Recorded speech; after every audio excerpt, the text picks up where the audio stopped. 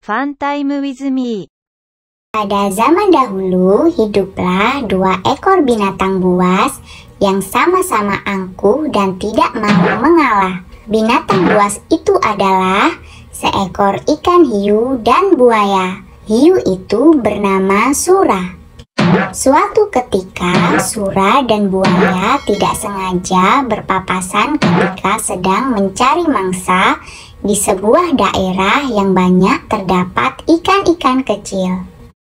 Karena sama-sama merasa terganggu, keduanya lalu saling berkelahi memperebutkan daerah itu agar menjadi daerah kekuasaannya. Sura dan buaya berkelahi sangat sengit hingga keduanya babak belur.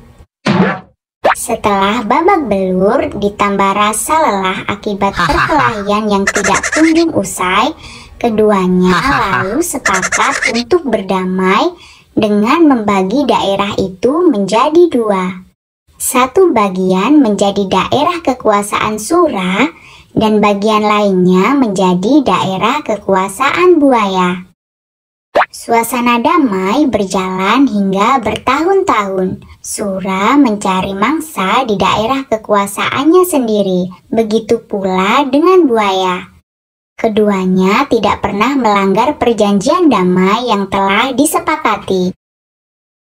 Namun lambat laun jumlah mangsa di daerah kekuasaan Sura mulai habis. Ikan-ikan kecil yang biasanya menjadi mangsanya sudah tidak ada lagi.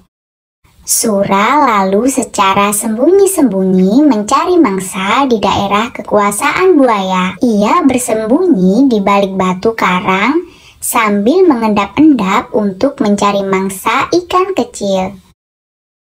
Meskipun beberapa kali berhasil mencari mangsa di daerah kekuasaan buaya, namun akhirnya ketahuan juga buaya memergoki Sura yang melanggar perjanjian damai yang telah dibuat. Perkelahian hebat pun tak terhindarkan. Buaya menggigit ekor Sura hingga nyaris putus. Sura pun menggigit ekor buaya hingga terluka dan bengkok. Perkelahian keduanya berlangsung hingga berhari-hari, berminggu-minggu, sampai keduanya tidak sanggup lagi berkelahi. Itulah salah satu cerita rakyat yang mengisahkan tentang asal-usul nama kota Surabaya. Hikmah dari cerita ini adalah kekerasan, apalagi perkelahian, tidak akan menyelesaikan suatu masalah. Carilah jalan keluar yang baik dan damai untuk menyelesaikan suatu masalah. Sampai jumpa lagi.